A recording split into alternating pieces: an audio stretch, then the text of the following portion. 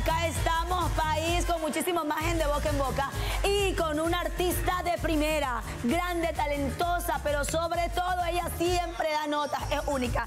Mi querida Dayanara, y da esas notas polémicas.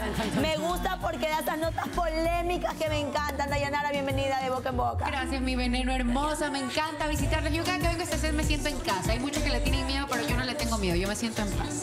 Mi querida Dayanara, y digo que siempre me das notas polémicas porque a veces la gente comienza a inventar o algo y genera ese tipo de contenido. Y está bien, ¿no? Sin querer. Sin querer. Llega por sí solo. Uno no lo busca, parece. Pero yo sí lo busqué en el veneno de la verdad. Terrible. Yo Me sí lo busqué, oye, y tu esposo sí que me soltó muchísimas cosas. ¿Qué opinas de ese veneno? Bueno, que realmente la veneno es la veneno y solamente tú lograste sacarle eso. Sí, Ni no. Yo le había logrado sacar esa No. Pero gracias por toda la información. Muchas gracias. Oye, pero ¿sabes qué? A mí me gustó la sinceridad de Jonathan, porque él no se guardó nada, porque no se hizo el mojigato, porque habló de su pasado, de su ¿Cómo es? presente. Yo creo que eso es lo que te enamora también de él. Él es así, él realmente cuando tiene que decir algo lo dice, obviamente siempre sin irrespetar a nadie, pero me encantó ver que se abrió de esa manera, que fue muy sincero con cada respuesta. Me vi, me vi gran parte de la nota y me encantó, excelente. Bueno, y sobre todo también habló y, y resaltó el gran amor que tú le profesas. O sea, los problemitas que tuvieron en su momento con tu familia, él los resaltó acá y lo hizo de una forma tan educada que no sonó ni siquiera fea. Habló muy bien de sus suegros, del cariño que ahora se tienen y yo creo que eso es bonito, Dayanara. Claro, totalmente. Uno, uno como pareja siempre va a querer que, que todos estemos en paz, que la familia esté en paz, que todos se lleven bien. Y pues gracias a Dios eh, hay una relación muy linda entre mi familia con él y yo creo que eso es lo, lo más bonito. Y todo. le pregunté si era el yerno más querido. O sea...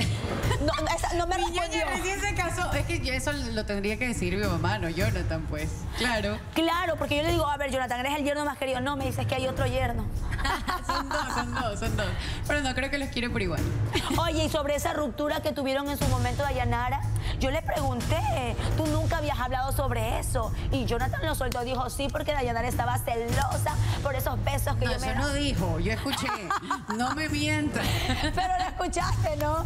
Sí, claro. Bueno, obviamente tuvimos, eh, no lo diría yo como una separación porque no fue tanto tiempo, pero sí estuvimos distanciados. La peleita más fuerte, diríamos. Sí fue la pelea más fuerte, sí fue la pelea más fuerte. Obviamente en ese tiempo no teníamos tantos años de relación como ahora. Yo le digo a él, yo creo que hoy por hoy cada uno sabe perfectamente lo que le enoja del otro y evitamos y mantenemos todo en paz de la mejor manera. Y si algo nos molesta lo conversamos en casa, que creo que es como tiene que ser. Pero en su momento pues yo creo que me faltaba madurar todavía a él también. Mutuamente teníamos algunas inmadureces que quizás hicieron que, que choque en su momento. Pero eres afortunada porque ni Claudia Camposano ni María Fernanda Ríos fueron novias oficiales a pesar de por ahí tener algo. Él me dijo en el veneno de la verdad, mi novia formal, Dayanara Peralta.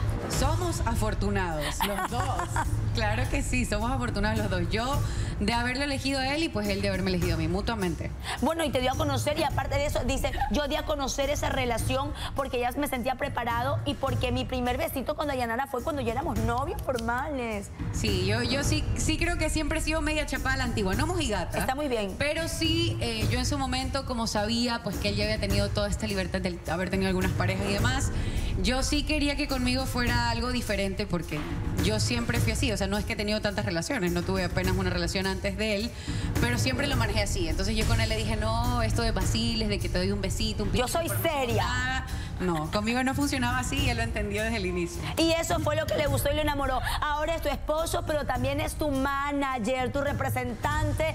Y por eso también ha sido muy criticado. Yo lo entrevisté y conversé con Jonathan justamente en la grabación de tu último video, Ni Borracha. ¿Y sabes lo que dijo Jonathan? Míralo.